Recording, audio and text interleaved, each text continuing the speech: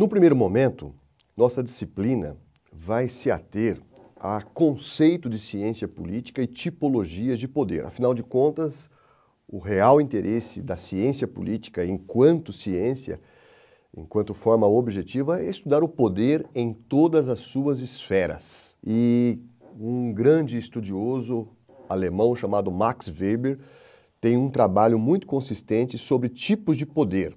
Poder tradicional, a gente nunca pode desconsiderá-lo, o poder é, carismático em si, né, o carisma, o dom, certo?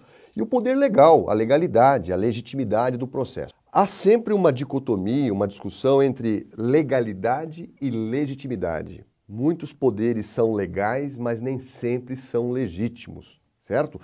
Mas para a gente estudar esse conceito de ciência política nesta primeira unidade da disciplina, a gente vai se ater à primeira discussão lá na Antiguidade Clássica. A gente vai então se debruçar sobre a República de Platão e a política de Aristóteles, porque foi nesse momento que se começa a estudar a política não da casa, não do pater famílias, mas a política da praça, a política da rua, a política do poder é, coletivo, né, o poder da polis. E aí começa-se a ter discussões.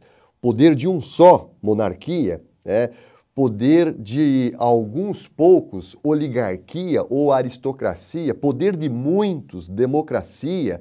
Que tipo de poder eh, será mais importante né, para o bom andamento da, dessas atividades consideradas o bem público? Então, nessa primeira parte da disciplina, nós temos ali alguns arquivos, nós temos algumas lâminas, temos o livro da disciplina, o livro didático, que vai te fornecer alguns bons subsídios para a gente dominar essa discussão. Seja bem-vindo para acompanhar essa primeira parte da disciplina, muito importante, que vai abrir um leque de discussão para outras unidades, para outros momentos importantes da disciplina.